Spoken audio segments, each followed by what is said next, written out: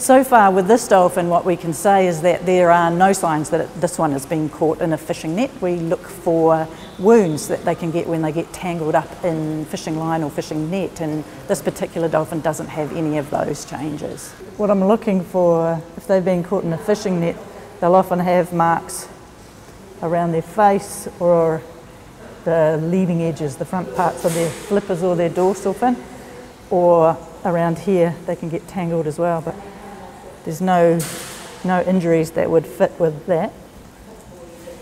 It's got some old injuries that have healed well along the back, but nothing fresh.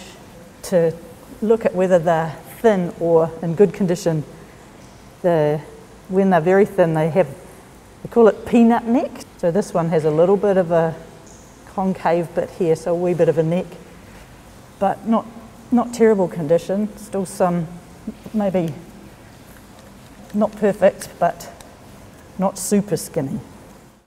Well, that's the point of doing the post-mortem. So we um, do post-mortems on all stranded Hector's of Maui dolphins that are found around the coastline um, to try and find out what they've died of.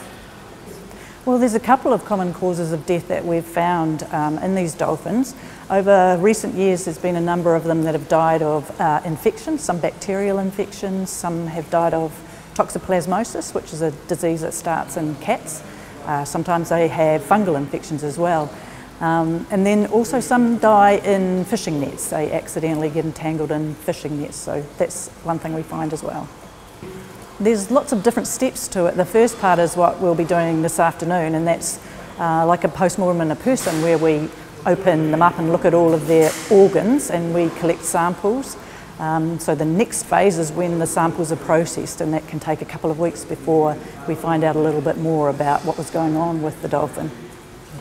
We have had 12 dolphins that are found dead this year. That's not all that unusual. It does vary a lot from year to year. Some years we just have one or two uh, and other years 12, 13. So it's quite variable. Depends really um, a little bit on how many wash up and a little bit I think on how many people are out on the beaches and notice the dolphins.